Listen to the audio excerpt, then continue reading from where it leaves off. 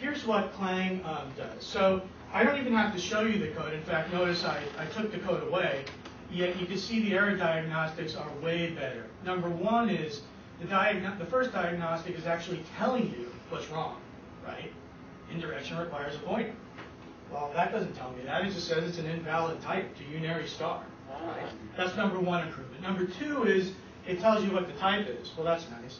And number three, and certainly not least, is it highlights the exact point the error occurred and the range of the expression that it's complaining about. Right? So it's very nice.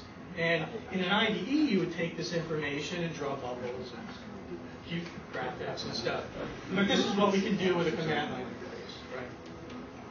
The old dev kit did not do, the old dev kit would actually pinpoint the exact location. The old dev kit did not do this well. Oh, no. no. Once we got precompiled headers working and some of the other tools, you know, uh, we, we started, um, I don't know, not investing in the details, I'd say. So now we're investing in the details. So you just saw the, um, the output. That that output, if you did that naively and stored source locations for every possible node in the AST, would make the ASTs really fat. Um, so we don't do that. So what we do is we we derive it because let's face it, when you have an error, it's not important that the compiler's fast at that point. If processors are fast. So we ask the expression, what is your range? And it does a, a, a search and it bubbles up to the top and it computes its range. And then we hand over the range to the um, error diagnostics code. And the error diagnostics code, even though it has the range, still doesn't know the extent. So what it does is it takes the source location, from it derives the logical location, the file ID, and it instantiates a lexer, okay, on the fly to just get the length of the token. Okay. This is incredibly cool. This is incredibly cool. Chris wrote this routine, and when I saw it, I was because I, I, did the range stuff. I said, Chris, now plug it into your stuff, and he did it. And when I saw this routine, it, it was just it's great stuff.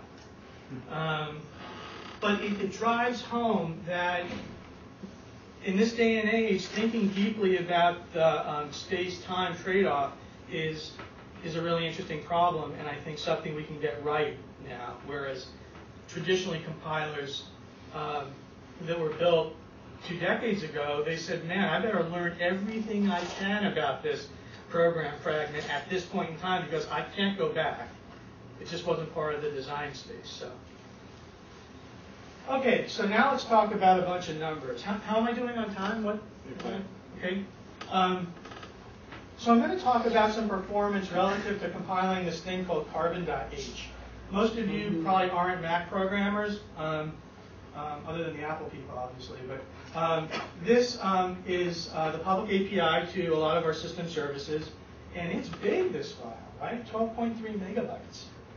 Actually, the file is really small. Yeah. One file small.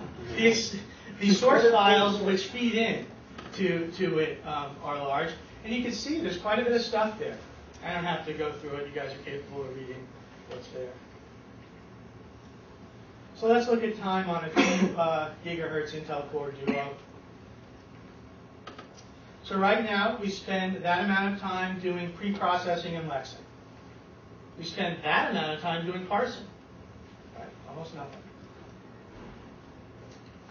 And we spend that amount of time doing semantic analysis and tree building. Okay, so it roughly breaks down to 65, 10, 25. Okay, that's um, that's how we're doing right now.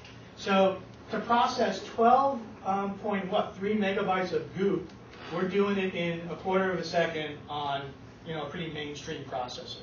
So we're pretty proud of that. Um, GCC, um, its preprocessor is about twice as slow as ours right now, and considering the effort that went into making it that fast, again, Chris is just amazing that he was able to compete with it so quickly. And um, it turns out that, as I said, it's unconventional that a compiler can actually measure that uh, middle number we're measuring. I can't do it in GCC. The closest you could get with GCC is dash F syntax only, and that isn't just parsing, it does a lot of other stuff. So that's how it breaks down. and at least for doing the same batch type of compilation that GCC does, we're two and a half times faster at the moment. Okay.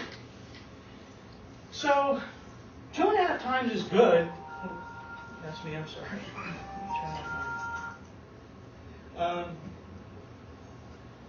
we really want 10x. So the way to get 10x is to um, have whole program ASTs. So we want to, um, our goal is to make these space efficient, easy to access, serialize them for disk, and basically um, have uh, the equivalent of precompiled headers for your whole program. Except they're not headers, it's just precompiled code. Um, and the benefit here is it'll make everything faster, okay?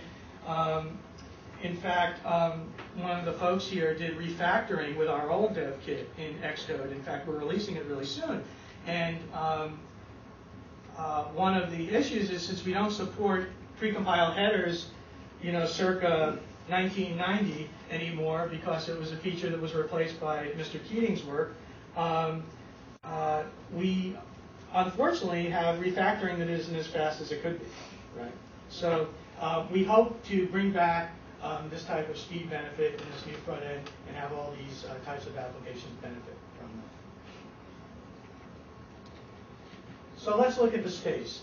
So as I said, the input source here is that. Now, the pre-processed source is only 3.5 megabytes. So that explains why we're spending 65% in the preprocessor, right? It's having to eat that much more uh, code. Um, now, here's the ASTs we have. Now, it turns out that the most um, costly bit of um, data are the identifiers and strings. Okay, so they're 2.1 megabytes. Now, I include them because even though they're not an AST, they are data that the AST needs to be useful, right? Um, so, but still very exciting that it's only 30% larger than the source code, right? Which is pretty cool because it's in a highly structured, very useful form, and 30% is not a big price to pay, especially when you look at the GCC trees, which are that, right? Now, it's a little bit unfair, right? Because the abstract syntax trees don't contain a lot of the data that GCC does. GCC's trees contain data for um, generating code, right? our ASTs don't do any of that. But it turns out this is a header file. So guess what? Most of GCC's data structures are filled with zeros, right? Again, because it's not factored correctly, right? So, um, whatever. Um, uh, we're excited about this, and, and it, I should note down here these numbers. These are the number of instances of the AST. So uh, we have about 50,000 DECL ASTs, 31,000 statements and expressions, and 26,000 types for, for this.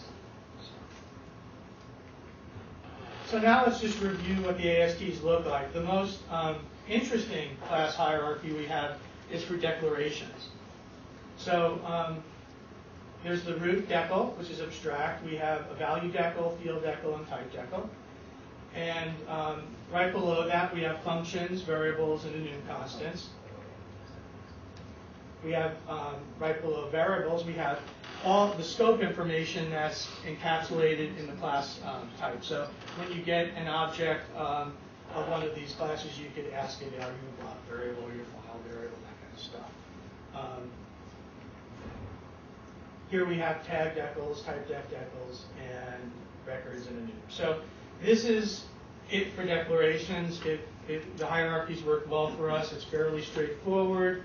And if you superimpose how many instances uh, each of these guys, and the reason it's interesting to look at the number of instances is part of the reason this is factored this way is for performance. Now it just turns out that the way we modeled it and performance actually go hand in glove, right? There's nothing unnatural about this hierarchy for performance reasons, right? So it is interesting when the two um, come together, when you say, wow, that, that makes sense, and yeah, that's